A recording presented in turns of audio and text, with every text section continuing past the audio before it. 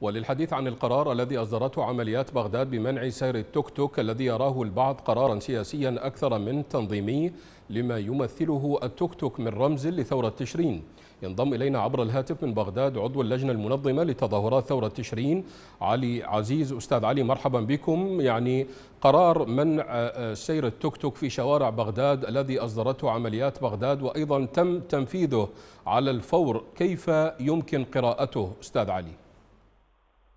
نعم.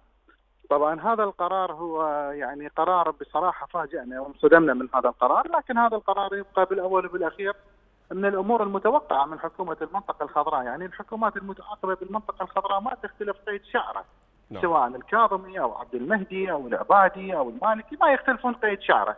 فهذا شيء هذا شيء مقصود. طبعا التوك توك له مواقف مشرفة بساحه التحرير له فضل على كل الثوار العراقيين هذا التوك توك هو الاسعاف الميداني الذي كان ينقل جرحانا ويسعفهم. هذا التوك توك أنقذ أرواح الآلاف من الثوار العراقيين الأبطال.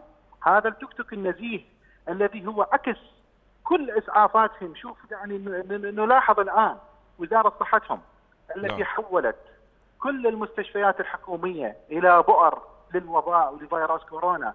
بعكس التوك توك الوطني الثائر الذي لم يبرح ساحة التحرير ابدا اليوم هذا القرار الحكومي يهدف إلى منع وصول التوك توك نعم. إلى ساحة التحرير ومحيط ساحة التحرير الذي نقرأه طبعا من خلف آه، يعني هذا القرار إنه هذا القرار طبعا اتخذته هذه الحكومة نتصوره إحنا كخطوة تمهيدية لاقتحام ساحة التحرير لأنه اليوم لولا وجود التوك توك بساحة التحرير لما وصلت الثورة العراقية ودخلت شهرها التاسع وهذا الشهر سيكون إن شاء الله شهر المفاجآت وشهر النصر نعم. لشعبنا رغم هذا القرار المجحف.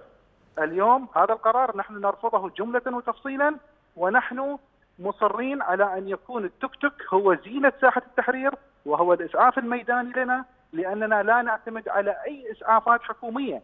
يعني نحن جميعا نعلم عندما تم تكليف محمد توفيق علاوي نعم. في ليله وضحاها تم سحب كل المفارز الطبية العائدة إلى وزارة الصحة من ساحه التحرير ولم يبقى لدينا إلا التوك توك الذي قام بنقل جرحانا من ساحة التحرير إلى مستشفى الشيخ زايد أو إلى مستشفى الكندي أو إلى باقي المستشفيات. طيب أستاذ علي الغريب آه، آه، أن هذا القرار لم لم يمهل أصحاب التوك توك وأيضا آه، تم تنفيذه مباشرة، لكن هنا السؤال هل يسبب التوك توك كل هذا الخطر على أمن المنطقة الخضراء إلى هذا الحد؟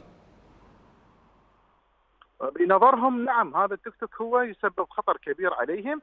لماذا؟ لأنه يسعف أرواح الثوار.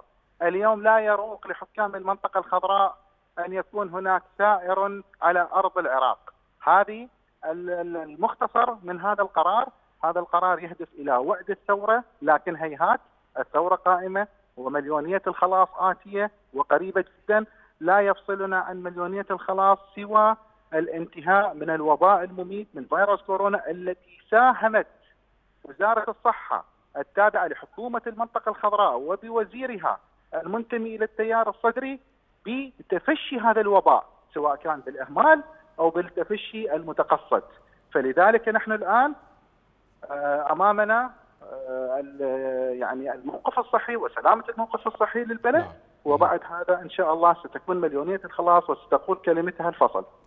أستاذ علي من ضمن المقبوض عليهم من سائقي التوك توك أطفال من مواليد 2004 وحتى 2007 لكن هنا ماذا يعني القبض على أطفال وتصويرهم كمجرمين إذا كان القانون لا يسمح بهذه الإجراءات؟ ما الرسالة التي تريد قوات الأمن إرسالها من نشر صور أطفال مقبوض عليهم؟ الرسالة واضحة جدا بأننا آه، لا نميز بين صغير وكبير لا نميز بين امرأة وبين رجل. يعني هذه مو أول مرة تصير ويانا لطالما آه، اعتقلوا آه، نساء ثائرات في السابق وأيضا كذلك اعتقلوا أحداث حدث يعني عند طريق محمد القاسم يعني بنهاية شهر 12 من العام الماضي وبشهر الواحد كذلك وكذلك صوروهم ومع العلم هذا الشيء آه، يعني هذا شيء مخالف لكل الأعراف والعادات وحتى القوانين الدولية. الحدث لا يمكن تصويره بهذه الطريقة المهينة. يعني يعني يعني إحنا عندنا أحداث تم تصويرهم بتهمة نقل إطارات. نقل إطارات نعم. وركبوا عليهم تهمة إنهم يرومون حرق هذه التيارات لقطع الشوارع. وصوروهم بتهمة انه ينقلون إطارات. فهذا الشيء هو مو غريب. عن المنطقة الخضراء.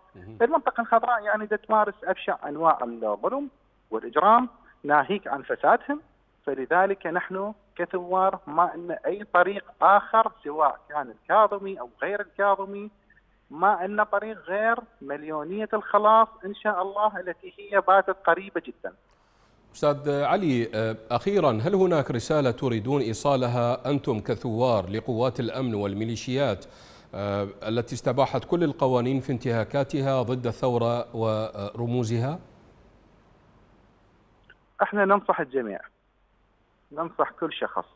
ينتمي لهذا البلد صدقا ينتمي. ينتمي ايمانا وينتمي احتسابا لهذا البلد بأن يراجع نفسه ألف مرة قبل موعد مليونية الخلاص.